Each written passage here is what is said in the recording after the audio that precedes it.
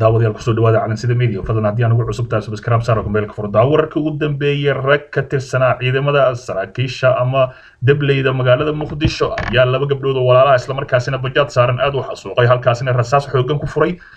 bishii sagaalaad ee sanadkaani hase ahaatee maxkamadda ayaa la soo taagan dambiilayaashan dhagarqabayaashan ayaa iminka cadaaladda la farsiinaya ma ahan shabaab hase yeeshee shabaab oo keliya maxkamad lama saaro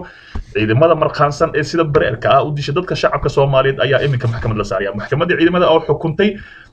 askar loo haysta dil ay iyo dhaawac ay u geysteen laba gabdhood oo walaalaha islamarkaasina bajaaj saaray xasan muuse warsame iyo xasan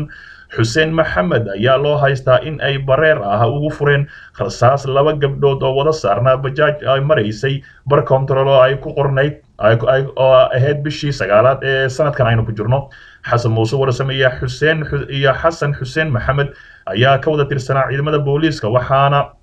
isla xilligii ay geysteen dhaawaca iyo dhimashada la wareegay hay'adda baarista hay'adda baarista ee dembiyada ee soomaaliya hay'adda dembi baarista booliiska c i d da ayaa ku soo wareejisay labada eedeysane xafiiska xer ilaalinta waxa uuna xafiiska weydiistay maxkamadda shan iyo tobankii bishii sagaalaad ee sanadkan aynu ku jirno loo dhaadhiciyo xabsiga dhexe ee garsuge ahaan halkaasi ay sugaan ugu sii sugaan. Xafiiska xer ilaalinta ayaa soo eedeeyey labadan eedeysane baaritaano dheer kadib lix iyo tobankii bishii tagtay waxa ayna maxkamadda weydiisteen in ay la mudeeyo dacwadda qaadista xasan xuseen maxamed iyo xasan muuse warsame oo loo haysto dilka marxuumad aster axmed cabdulle iyo dhaawaca dhibane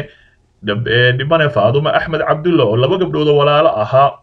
oo maraya agagaarka isbitaalka isbitaalka masaarida ee degmada hodana hase ahaatee halkaasi rasaas xoogan ah ooda kugu fureen ayagoo aad u marqaansanaa islamarkaasina raggaana ujeedaan oo ah dhalinyaro ayaa labadaas gabdhood midna ay ku dhimatay midna dhaawac noqotay shan cisho kadib ayay maxkamaddu ballamisay dhegaystayaasha dacwadooda maxkamadda ayaa ugu horreyn u jeedisay eedeysanaha loo haysta. Labada eedeysane waxaana fursad loo siiyey in ay ka jawaab celiyaan falka loo haysto. Dambiile waxaa la yidhi dable booliis xasan xuseen maxamed oo ka jawaabay eedda loo soo haystay ee dilka iyo dhaawaca oo u geysteen gabdhaha walaalo ah ee bajaajka wada saarnaayeen ee maxkamadda uu sheegay in ay si wada jir ah xabadda u rideen isaga iyo eedeysanaha labaad ee maxkamadda hortaagan hase ahaatee waxay noqonaysaa ciidamadii kale oo iminka maxkamad la soo taagayo maadaama mararka badan lagu bartay dhibanayaal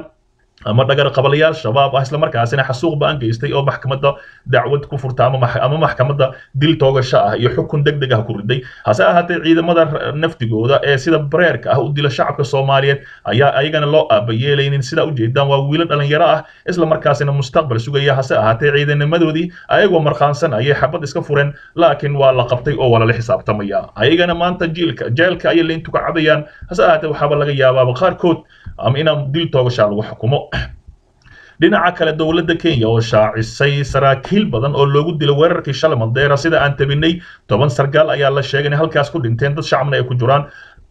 Dowladda kenya ayaa faahfaahin rasmi ah ka bixisay weerarkii dagaalyahanada ka tirsanaa al-shabaab ay ku qaadeen gaari bas ah oo ku socday nawaaxiga magaalada mandeera ee gobolka waqooyi bari dalkaasi kenya. Saraakiisha ammaanka oo ka hadlay weerarkani ayaa sheegay in lala beegsaday weerarka gaari ay lahaayeen saraakiisha gaari ay lahaayeen shirkadda madiina islamarkaana ay la socdeen konton iyo afar qofood sida ay sheegeen. Dhankiisa guddoomiyaha gobolka wajeer ee kibara oo la hadlay warbaahinta ayaa xaqiijiyey in toddoba ka mid ah dadka la dilay ay ahaayeen saraakiisha booliiska kuwaas oo uu sheegay inay ku sii jeedeen shaqadooda. Sidoo kale wuxuu tilmaamay in kuwa kale oo soo saarnaa gaariga ay ka badnaayeen waxaa la yidhi ay ka badbaadeen weerarkaasi kadib markii ay ka boodeen daaqadda sida uu hadalka u dhigay guddoomiyahaasi kibara master kibara ayaa intaasi ku daray in kooxda weerarka fulisay ay toogateen dhammaan dadkii aan muslimka ahayn ee baska la socday. Islamarkaasina waxaaba la leeyahay khasaarihii waa uu ka badnaa. Al-shabaab ayaa dusha u ridatay weerarkani waxaana uu sheegteen in ay ku dishay dad kiristaan ahaa oo qaarkood ay ka tirsanaa sirdoonka kenya iyo shaqaalaha dalkaasi. Ayaa lagu yidhi ma ahan markii ugu horreysay ee saraakiil ka tirsan ciidamada kenya lagu laayo waqooyiga bari dalka kenya waxaana gobolkaasi marar badan weeraro ka fuliya ururka al-shabaab islamarkaasina jidgooyo u galo hase ahaatee halkaasi ay ku dilaan saraakiil ciidamo iyo dad shacab oo kenyaan ah. Shabaab ayaa inta badan caadaysatay inay jidgooyo u galaan meeshaasi. Sida inta badan warbaahinta lagu arkay hase ahaatee iminka dhinaca kale haddii aan u wareegno dowladda imaaraadka carabta wasiirkeeda arrimaha dibadda imaaraadda carab imaaraadka carabta ma doonayno inaan isku dhacno soomaaliya wasiiru dowlaha arrimaha dibadda ee imaaraadka carabta anwar gargaash ayaa sheegay in dalkiisa uusan raadinaynin inay isku hor yimaadaan dalka soomaaliya. Xiriirka labada dal ayaa xumaaday kadib markii dowladda soomaaliya ay sideedii abriil ee sanadkan qabatay lacag ku dhow toban milyan oo doolarka maraykanka imaaraadka kaas oo dejiyeen garoon ka soo dejiyeen garoonka diyaaradaha ee muqdisho. Hase yeeshee gargaash ayaa sheegay in weli uu furan yahay albaabka ay isku fahmi karaan soomaaliya iyo dowladda imaaraadka carabta weli waxaa bannaan fursad ay soomaaliya iyo imaaraadka carabta ku wadaagi karaan diblomaasiyad. Annaga ma rabna oo yidhi ma raadinayno isku dhac ayuu yidhi wasiirkaasi. Xaaladda waa mid waa mid u baahan diblomaasiyad taasi oo nagu jihayn karta uu yidhi xal siyaasadeed. Akhligal ah nabad ah islamarkaana la joogteeyo oo la joogtayn karo ayuu yidhi wasiiru dowlaha. Arrimaha dibadda imaaraadka carabta oo soo xigatay wargeyska han ee ka soo baxa dalkaasi hadalkiisa ayaa imaanaya iyadoo uu shalay muqdisho ku kulmeen wasiirka arrimaha dibadda iyo iskaashiga caalamiga ee soomaaliya axmed ciise cawad iyo safiirka imaaraadka carabta soomaaliya maxamed axmed cusmaan alhamadi. Kulankani ayaa ahaa kii ugu horreeya ee muddo dhex mara xubno sare oo ka kala socda labada daltan iyo markii uu xumaaday xiriirkooda. Xiriirka labada dal ee markii hore ku xumaaday xiisadda khaliijka kadib markii ay soomaaliya ka diiday sacuudiga iyo imaaraadka inay xiriirka u jarto dowladda qatar ayaa ka sii daray markii dowladda soomaaliya ay sideedii abriil qabatay lacag ku dhow toban milyan oo doolarka maraykanka ah oo imaaraadka ay soo dejiyeen garoonka diyaaradaha ee muqdisho islamarkaasina halkaasi khilaafku sii xoogeystay. Toddobaad kadib shan iyo tobankii abriil laba kun sideed iyo tobankii dowladda imaaraadka carabta ayaa joojisay tababarkii ay siin jirtay ciidamada soomaaliya iyada oo ka jawaabaysa lacagta ay qabatay dowladda soomaaliya tan iyo muddadaasi ma jirin wax xiriir ah muuqda oo ay ka dhexayso soomaaliya imaaraadka carabta. Dowladda imaaraadka carabta ayaa sidoo kale weli aqbali la safiirka cusub ee soomaaliya u magacowday dalkaasi xasan xundubey jimcaale kaas oo la magacaabay lix bil ka hor hase ahaatee ilaa iminka aysan aqoonsanin dowladda imaaraadka carabta. Si kastaba hadalka gargaash wasiirka arrimaha dibadda iyo kulanka cawad iyo iyo alhamadi ayaa muujinaya inuu jiro isku soo dhowaansho labada dal ah hase ahaatee ahaatee waxaa la leeyahay inuu xiriirka si fiican u sii wanaagsanaado ayaa laga filayaa.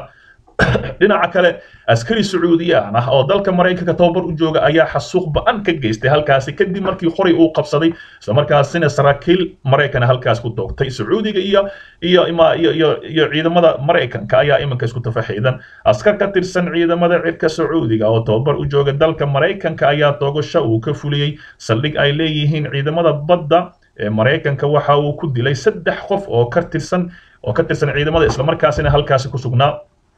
Toogashada oo ka dhacday fasalka ku dhex yaalla saldhigga oo ku yaalla magaalada bensacola ee gobolka florida iyo dalka maraykanka waxaa sidoo kale ku dhaawacmay saddex qof oo ay ku jiraan laba booliis ah oo ku soo baxay weerarka markuu dhacayay. Ninkan weerarka geystay ayaa magaciisa lagu sheegay moxamed sa'iid al shamrani halkaasi tababar u joogay barasaabka gobolka florida ron ron ayaa xaqiijiyay in qofka toogashada geysta uu ka yimid dalka sacuudiga. Waa ayaan wuxuu yidhi waa ay caddahu yidhi inay jiri doonaan uri su'aalo badan oo ku saabsan qofkani ajaanibka ah ee ka tirsan ciidamada cirka sacuudiga oo dalkeena u joogay. Tababar ayuu yidhi duqaasi oo shir jaraa'id ku qabtay halkaasi. Waa ay caddahay in dowladda sacuudiga looga baahan yahay inay wanaajiso dhibanayaasha waxaana filayaa in deyn badan lagu leeyahay ayuu yidhi barasaabkaasi boqorka sacuudiga salmaan bin cabdicasiis ayaa telefoonka uu u diray madaxweynaha maraykanka donald trump ku cambaareeyey toogashada. Waxaa sidaasi warisay wakaaladda wararka ee sacuudi carabiya ee isbaa lagu magacaabo. Boqorka wuxuu xaqiijiyey in dembiilaha geystay dembiga aadka u xun uusan matelin shacabka sacuudiyaanka ah ayay tiri wakaaladda wararka trump ayaa qoraal uu soo dhigay bartiisa twitterka ah ee ku yidhi boqor salmaan wuxuu tacsi u diray una damqaday qoysaskii iyo saaxiibadii dhibanayaasha lagu dilay laguna dhaawacay weerarkaasi. Goobta weerarka uu ka dhacay ayaa waxaa loo ogol yahay oo keliya inay qoryo ku haystaan dadka sugaya amniga mana cadda sida ninka weerarka u fuliyey uu qoriga ku helay.